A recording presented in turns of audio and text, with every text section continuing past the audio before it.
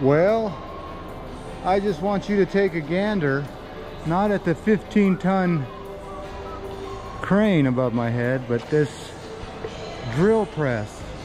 Look at the size of this. That's a drill press if I've ever seen one. Six foot, 17 inch coil or whatever COL means, but I've never seen such a big drill press. Look at those bits. So that's how you drill this big steel. So there's the handles to this thing. If you know how to run this thing. Uh, feeds.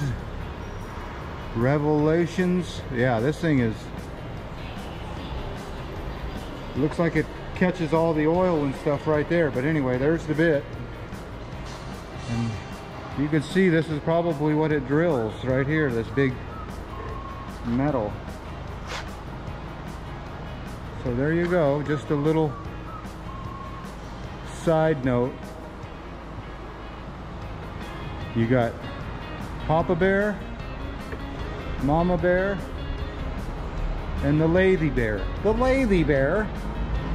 Yep, that's a lathe. Papa Bear, Mama Bear, and the Lathy Bear. And the Baby Bear. Baby Lathy. Okay, bandsaws, bandsaws.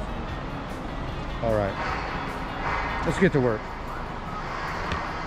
Now.